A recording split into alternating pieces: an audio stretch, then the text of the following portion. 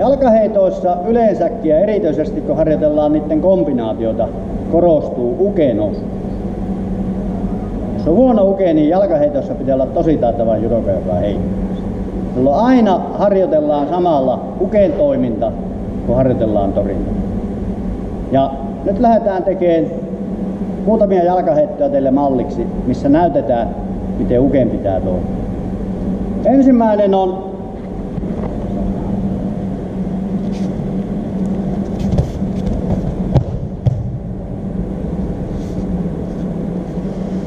Tasa turikomiassi hidarille ja siihen mikioutsi.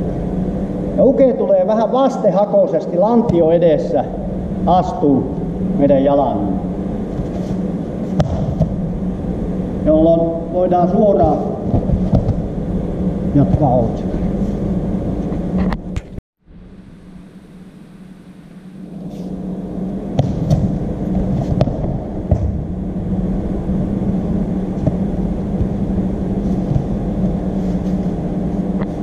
Seuraavaksi hyökätään sasailla, jolloin uke koittaa väistää ylipitkällä askeleella.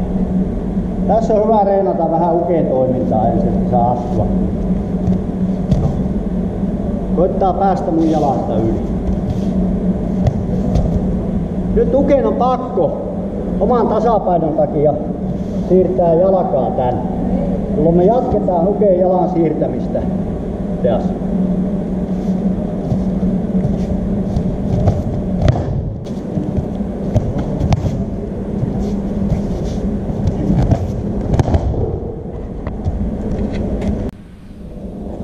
Seuraavaksi otetaan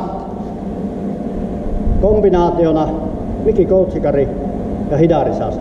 Tämä tulee erityisesti silloin, kun uke lähtee nojaamaan, väistämään tuonne päin meidän koutsikari. Uke nojaa tuonne suuntaan.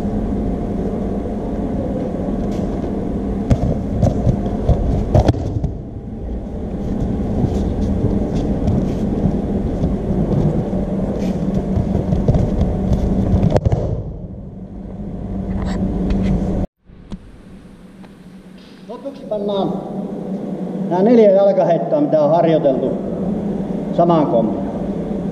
Ja taas ekana Uke opettelee omat liikkeensä.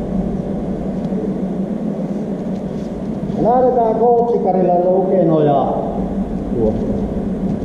Askel, tehdään sasae, Uke astuu yli, hyökätään outsikarilla, Uke perustaa, me tehdään deaskel.